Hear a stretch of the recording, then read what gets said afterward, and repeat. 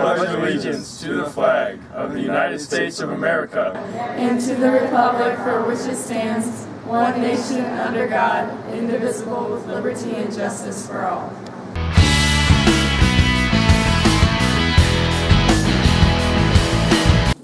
Good morning, New Knoxville, and these are your announcements for Thursday, May 16th, 2024.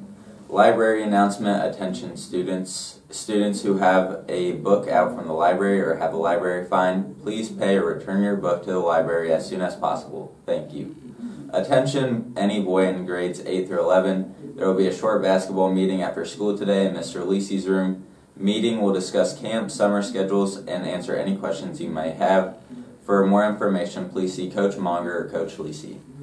Friday will be field day for grades 7 through 12. Team colors are the following seniors black, juniors white, sophomores pink, freshmen blue, 8th grade red, and 7th grade gray. Activities will be out at the park from 12 to 2. Dress accordingly, and you may bring something to drink with you out to, at the park. Weather report for Friday is calling for rain with a high of 71, hoping that changes.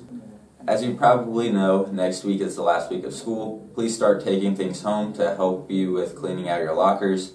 Trash cans will be placed throughout the hallways. Please don't wait until the last second to clean out your locker. Happy birthday today to kindergartners Zeke Homan and Ada Holland. Happy birthday today to first grader Addison Homan and our staff members Mrs. Warwell and Mrs. Dillon. For lunch today, we will have barbecue pulled pork sandwiches, baked beans, cucumbers, applesauce. Tomorrow's lunch will be corn dog, mixed veggies, carrots, and mixed fruit. Have a great Thursday, Rangers.